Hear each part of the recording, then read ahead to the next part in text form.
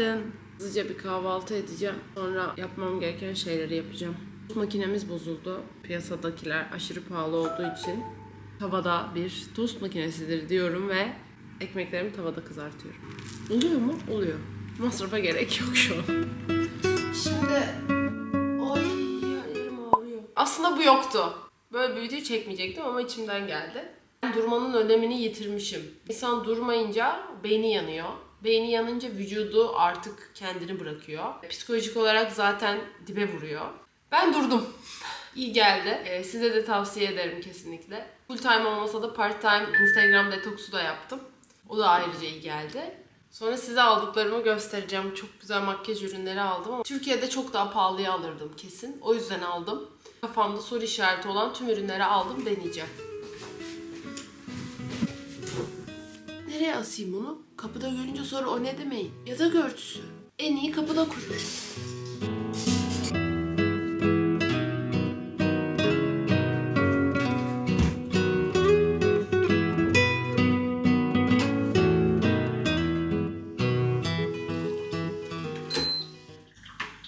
Yandım. Ben dün Prag'dan geldim.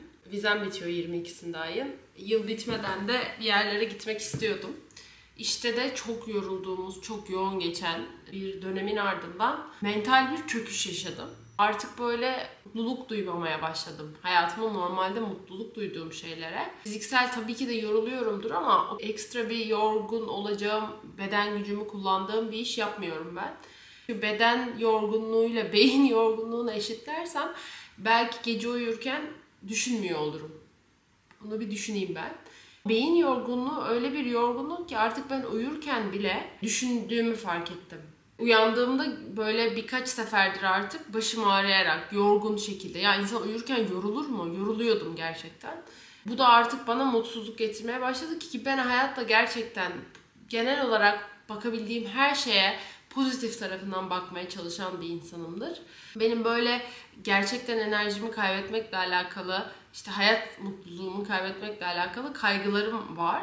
Bu da herhalde en yakın hissettiğim anlardan biriydi benim için. Bir de böyle zamanlarda gardı da insanın inceldiği için normalde dışarıda duymadığı şeyleri daha da böyle geçirgen oluyor, duymaya başlıyor. Daha da normalde dönüp bakmayacağım yorumu bile okuyup ya acaba ya dediğim bir noktaya geldim. Kümülatif olarak birbirlerini besleyen zorlu bir sürecin ardından, zorlu süreçlerin ardından bugün çok iyiyim. Bugün kendime geldim. YouTube kanalımda birilerini yanlış etkilemek konusunda ya da ben bir şey yanlış ifade ettiğim için linç edilmek konusunda o kadar çekinmişim ki, o kadar susmuşum ki yani ki ne yapıyorum yani yanlış yaşadığım bir hayat olduğunu da düşünmüyorum hiçbir kısmıyla. Böyle kısmışım kendimden. Bundan sonra birazcık daha açık ve birazcık daha rahat olmaya çalışacağım. Çünkü bir şey yapsanız da yapmasanız da linç ediliyorsunuz. Biz bayılıyoruz birilerini eleştirmeye. Kendimi de katarak söylüyorum. Elimden geldiğince bunun önüne geçmeye çalışsam da yargılayıcı bir tarafım olduğunu biliyorum. Yani çünkü böyle bir toplumdayız biz. Sürekli herkes birbirini eleştiriyor, birbirinin açını arıyor. Yanlış bir şey yaptığı için o insana yanlış yaptığını söylemeye yer arıyor.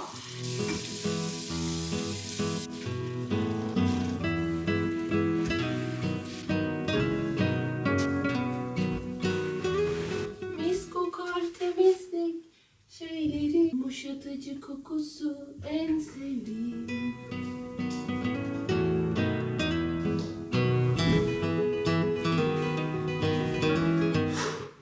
Çamaşır yıkama seansımızın sonuna geldik.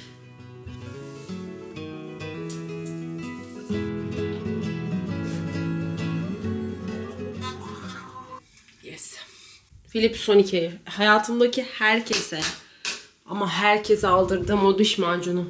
Kimi görsem bunlar kesin alıyorsun diyorum. Alıyor. Çok memnun kalıyor. Aldıklarımla beraber Tabii burada ben kaloriferin yanında olduğum için Şimdi aldığım şeyleri göstermeden önce bir açıklama yapmak isterim. Yani ben çok fazla kozmetik alışverişi yapan biri değilim. İhtiyacım oldukça, markalardan geldikçe bir şeyleri alan, deneyen bir insanım. Uzun ömürlü kullanabileceğimi düşündüğüm, ambalaj ömrü yettikçe tabii ki, şeyler vardı. Bunları da bu seyahatimde aldım, almış bulundum. Lütfen bunu bir normal olarak görüp değerlendirmeyin. Bunlar yeni değil o yüzden bunları uyguluyorum. Ee, yeni cilt ürünü almadım çünkü nemlendirici falan. E de sinek var. Bu mevsimde sineği nereden buldun acaba? Yani sen bizi nereden buldun sinek? Önce Sephora'ya gittim. Böyle testerlar verdiler. Sıkamadım ama geldi. Ha. Bak güzelmiş. Gizo'nun saç yağını çok merak ediyordum. Hanımefendiyi de çok beğenirim. Böyle bir deneme boyunu aldım. İstersen ıslak istersen kuru saçı uygula diyor. Bakalım. Kokusunu alamadım ama şu an ben çok biliyorsunuz ki şey bir parfüm sıktım baskın. Yani güzel bir şey. Çok tatlı bir kere kutusu. Neydi bu? Rare Breed'den hem allık olarak hem aydınlatıcı olarak kullanılabileceğim, kullanabileceğim şu şeyi aldım. Özel bir serisi gibi geldi bana Beauty Blender'ın. Benim de bir süngere ihtiyacım vardı. Uzun süredir süngerim yoktu. O yüzden böyle bir sünger almış bulundum. Bu da sünger. Normalden bir tık daha böyle gül kurusu gibi bir rengi var. Benefit'in bu Cakeless Concealer'ını aldım. Telefonum çalıyor. İyiyim aşkım aldıklarımı bakıp video çekiyorum. Sen ne yapıyorsun? Ufak bir telefon görüşmesinin ardından geri geldim. Devam ediyorum. Adı üstünde bu da cakeless olduğu için 24 saatte kalıcı olduğunu söylüyorlar. Bunu denemek istedim. Tam silki gibi bakın böyle. Devam ediyorum. Şöyle bir Hula Benefit Bronzer aldım. Bunu da istiyordum. Bu da indirimdeydi Sephora'da. O yüzden bunu da aldım. Şöyle bir güzel bir allık bronzer fırçası istiyordum. Onu da aldım. Sephora'nın 5 numaralı fırçası bu da. Sephora'dan aldıklarım bu kadar. Gitmeden önce havaalanında bir tane çok şahsına münhasır bir ruj buldum. Guerlain'ın bu senelerdir çıkardığı, çıkarmaya da devam ettiği şöyle ambalajı olan dünyanın en şık, en ikonik rujlarından bir ruj böyle çıkarınca aynanız çıkıyor. Şöyle. Burası deri bu arada benimki. Ben bunu seçtim. Bir sürü şey var. Hatta anneme de başka bir rengini aldım. Göstereceğim. İçine istediğiniz rengi koyabiliyorsunuz. Ben şöyle koyu bir renk aldım. Çok beğendim. Bunun içini sürekli değiştirir değiştirir kullanırım. Çok güzel. Anneminki de çok güzel. Ben bunu aldığım yerde anneme aldığım olan yoktu diye bunu aldım. Ama anamdır ya. Ona daha güzeli gitsin. Sonra Dior poşetinde ama Dior'dan sadece bunu da Free Shop'tan aldım. E, Prag'ta havaalanında. Dior Backstage Glow Face Palette. Yani Türkiye'de sold out. Bulabilene aşk olsun bir paletti. Şöyle dört tane rengi var. Bu hem yüz hem göz paleti benim için. Şöyle göstereyim. Bronzer, allık, aydınlatıcı işte aydınlatıcı ama hepsi de far yani. Yine bir kapatıcı aldım. Bu da yine çok özür dilerim. Nemlendirme özelliği de olan. Şöyle ambalajını da göstereyim. Ee, hem de kapatıcı özelliği olan şu kapatıcı. 2N rengini aldım bunda da böyle. Ne çok açık orada denedim. Bu iyi geldi. Bunu da uygulayacağım. Hatta bir gözüme diğerini bir gözüme bunu uygularım. E, nemlendiriyor tam kapatıcılık sağlıyor ve 24 saat kalıcı diyor bu da. Dudaklarıma hem nemlendirmek, şimdi ben dudaklarıma renklendirme yaptırdığım için yani şu an orada açık gözüküyor ama inanın normalde benim dudağımın rengi yoktu. Hele iki üşüyüm hiç yoktu. O yüzden de Clarence'ten Shea Butter'la Clarence'in şu rujlarından aldım. Bunları Türkiye'de görmemiştim ama ilgi duymadığım için o sıralarda da görmemiş olabilirim şimdi şey olmasın. Rengi çok koyu gözüküyor ama bak bunu uygulayabilirim belki şimdi. Koyu gözüküyor ama asla kadar kayı değil. O kadar da güzel nemli hissediyorum şu an dudaklarımı. Bunu çantaya atıp dışarıda hani böyle bir şeyleri yenilemek istemediğimde, ruj tekrar sürmek istemediğimde hem nem, nemlendirsin diye hem de genel olarak böyle hafif bir renk atsın yüzüme diye sürebilirim. Bunu yanağıma bile sürerim ben. Bir noktadan sonra oraya da gelir o. Kaş sabitleyici olarak e, Benefit'in bu 24 saat kaşları tutucu şeyini hep merak ediyor idim. Onu da al alayım dedim şöyle. Kaşlarımı şu an sabitleyebilirim. Komşularım biraz yüksek yaşıyorlar hayatı. Sesi geliyor mu size bilmiyorum. Benim kaşım da kaş yani tek bandırma da yetmiyor. Başka da ha, bir de annemin hediyesi var. Şöyle benim o Gerlan Rujlarım da, rujum da bu böyle bir paketteydi. Anneme aldım. Annem benim bir tek kırmızı ruj sürer. Annem başka renk ruj sürmüyor. O yüzden de anneme alabileceğim en güzel ve en e, uzun ömürlü şey böyle hatır kalacak, vakti kalacak. Bu olurdu. Şöyle kadife burası. Kadife kırmızı. Müthiş bir kırmızısı var. Hiç şu şeyini açmıyorum. Aynı şekilde. E, ruju da göstereceğim şimdi size. Çok güzel anacım. Çok. Vallahi çok güzel. Kullanmazsan alırım. Geri alırım. Söke söke alırım. Çünkü ben kullanırım bunu. Ve de içine de şu kır, ya bordo kırmızı da annem benim esmer olduğu için bu onda kırmızı duracaktır diye umut ediyorum. Hadi bakalım göreceğiz. Aa çok hoş. Çok hoş highlighter diye geçiyor ama kim karışabilir ki benim onu highlighter olarak kullanmayacak olmama? Kimse. Yanlış mı düşünüyorum? Sünger getirdim ama bir de fırça getirdim. Çünkü belki kapatıcılardan bir şekilde birileri buna daha uygundur. Kim bilir. Şu kapatıcısını şu gözüme bir deneyeyim. Da buraya. Süngerle bakalım ne olacağız. Bence sünger doğru karar. Var. Ay şey var. Yok. Beğendim. Vallahi beğendim. Beğenmesem çok üzülürüm biliyor musunuz? Şimdi diğer Benefit'in. Diğer tarafıyla uygulayayım. Dior'un kapatıcılığı daha yüksek. İkisi de gözümün altını kurutmadılar. Şöyle tam ışık karşıdan geliyor şu an. Siz de şöyle bir bakın. Benefit'i bir dahakine bir de fırçayla daha az bir miktarda denemek isterim. Ya da şöyle yapalım. Benefit'i bir de fırçayla yüzümün böyle kaş ortasına, çeneme falan uygulayayım. Bakayım o zaman ne olacak? Seyrek uçlu, rahat uçlu bir fırça. Böyle daha çok sevdim. Hula'dan sürelim. Ne kadar minnoş bir fırçasın sen ya. Bayıldım fırçaya. Şöyle bir oldu canım. Şimdi diğer tarafıma da Dior'un bu paletindeki bronzer'ı şunu.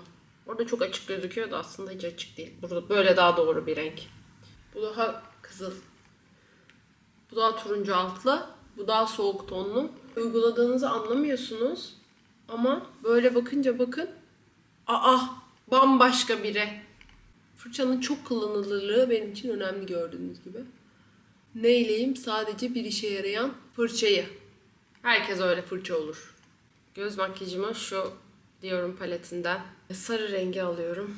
Çok hoş. Bak bu böyle ama asıl benim yeni favorim.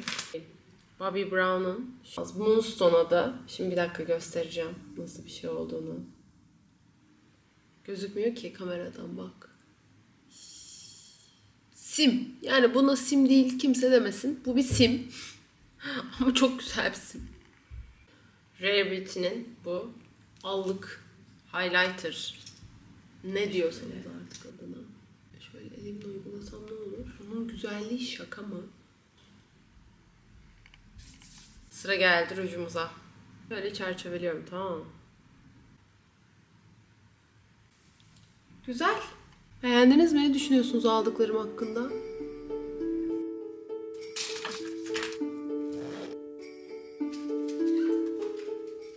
Serçe penceredeki maymun anahtar ama bu saatte de yani. Hangi saatte yapabilecekler ki? Bu saatte değil. Dün değil öbür gün değil. Ne zaman delecek bu insanlar duvarları? Bir ana yemek değil ki. Oha ne oluyor? Komşu! Zordayız. Yılın yıldızlarında. Benim hayatımda olmayan şeyler var yılın yıldızları. Kimin yıldızları bunlar Söyledim sonra da yemek yapacağız. Mumlar aydınlatmıyordu artık çok uzundu normalde ama yanınca içe doğru çökmüştü. Ben bunları tıraş ettim. Işığı gözükmeyen her şeye yardımcı olurum. Gerekirse kenarlarını keserim. Tarçın yakayım. Hiç yaktınız mı? Tarçın meğer bir ağaçmış. Yani ağacın gövdesinin sıyrılmasıyla oluşurmuş. Biliyor muydunuz hiç daha dinleyin. Bütün ev şimdi tarçın kokuyor biliyor musunuz? Şu an siz nerede duruyorsunuz biliyor musunuz? Yılbaşı ağacının üstünde. Hem de çok güzel bir yılbaşı ağacının üstünde. Bakın. Bu. Fakat ben evde çok vakit geçirmediğim için bu ağacı kurmuyorum. Yazık ediyorum. Annemlere götüreceğim. Bari onlar hazırlasınlar. Onlar hep evdeler. Emekli hayatım. Ama ofistekini kuracağız. O yüzden de çok heyecanlıyım. Bir Türk kahvesi daha. Cheers. Çok teşekkürler. Kalite kontrol vakti. Hazırsanız. Ay. Ne güzel koktu kız. Bu mevsimde bu çilek. Bu mevsimde bu çileğin güzelliği ne? Kim bilir hangi şartlarda bunları böyle güzel yaptınız siz. Nasıl oldu bu? Nasıl böyle kokuyor bunlar bu mevsimde? E, amacım kıymalı, havuçlu ve pırasalı bir pırasa yemeği yapmak. Böyle ekmek mammalı.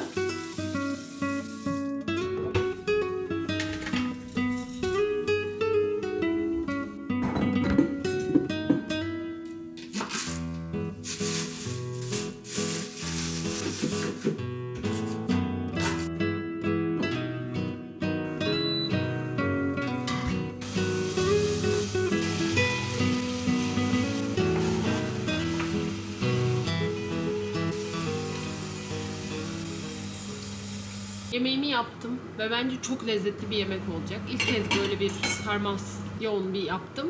Arpa şehriye çekti canım be.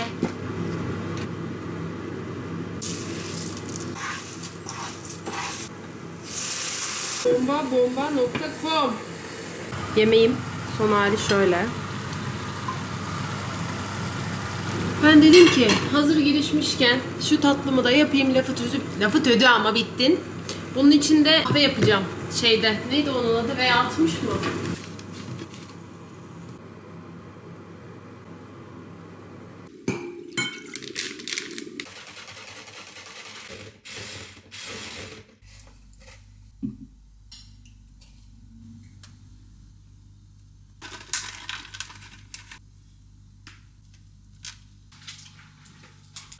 Arkadaşlar her şey bitti.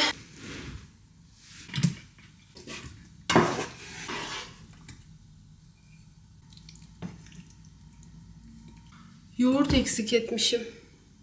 Tüh. Bu aralar şey izliyorum. Eda Yaman'ı.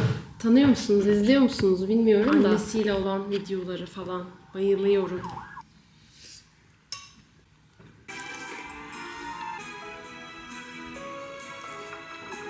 Kolay gelsin. Ben temizlik yaparken biri bana böyle baksa var ya ağzının ortasına bir tane çık. Yemeğimi yedim. Ben yemeğimin ortasındayken hatta Efil de geldi. O da yemeğini yedi. Öğlen de yemek yememiş. Tam böyle arpa şehriye bitti. E, yemek tabii kaldı ama ondan ofise de yarın götürürüm. Öğle yemeği olarak da yerim. Bakalım. Nergis benimkinin adı. Bir de şunun altına takılıyor. Orada şey var ya bir tane. Ha sığmıyor çünkü çocuk. Makyajımda da son hal bu. Bence gayet iyi. Bakayım. Göz altlarım falan duruyor. Dudak gitti tabii o kadar da değil. Kalıcılık kimse vaat etmedi size.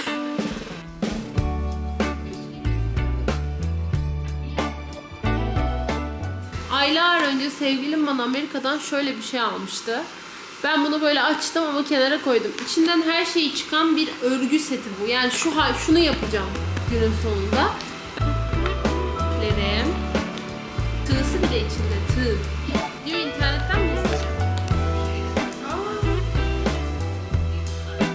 Merry Christmas, baby.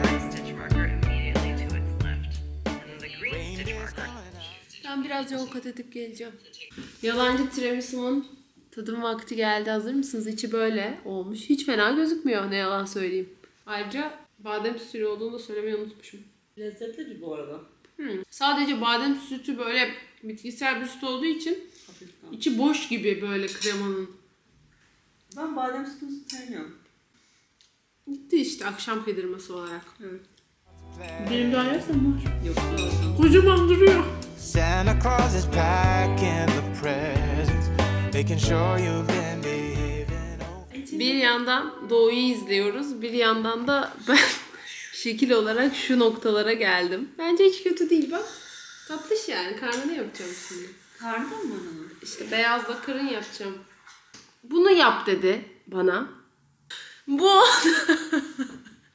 online aldığım gelen ya da ağzı olmasa daha iyi olacak. Sana zahmet. Gibi bağ gibi bağ bağ. Sonuç olarak tatlıya bağladık.